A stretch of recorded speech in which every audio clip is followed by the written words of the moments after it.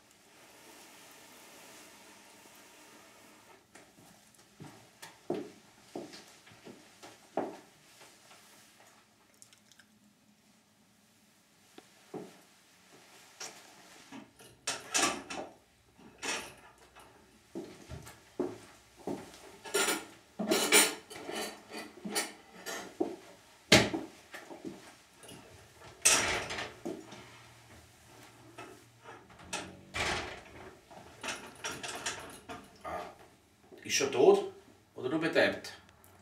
Was auch immer sie jetzt ist, dort, wo wir ihre Schwester hinschicken werden, kehrt sie garantiert nicht mehr zurück. Nerina, es ist Zeit. Wofür ist Zeit? Das werden Sie jetzt sehen.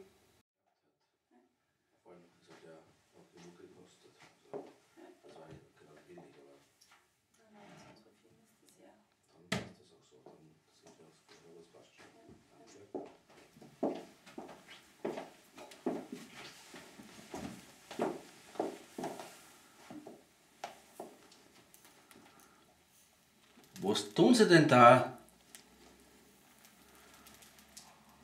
Hiermit gewährleisten wir Ihnen die Kompetenz unserer Firma. Durch den Zucker kann ich Ihnen garantieren, dass Ihre Schwester tot ist. Was soll denn das heißen? Das ist ja deppert. Genie und Wahnsinn liegen nun mal nah beieinander. In unserer Branche kommt, ist es schon oft vorgekommen, dass manchmal die Toten vom Tod zurückkehren. Da muss man sich anpassen, damit die Kunden zufrieden sind. Denn nichts steht uns höher als die Zufriedenheit unserer Kunden. Und warum nehmen Sie einen Zucker und nicht ein Gift?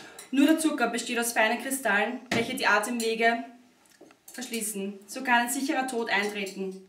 Zucker kann man nebenbei ohne jegliches Risiko verwenden, was ich vom Gift nicht behaupten kann. Gerda, wie weit bist du?